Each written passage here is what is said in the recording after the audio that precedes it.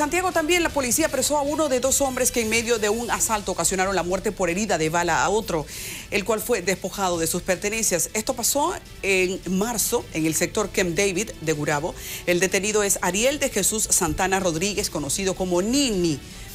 28 años tiene Nini, quien fue arrestado por ser uno de los implicados en el fallecimiento de Camille Santelí, de 40 y de nacionalidad haitiana. Por el caso, la policía busca a otro hombre que está identificado como Macá, a quien le exhorta a que se entregue.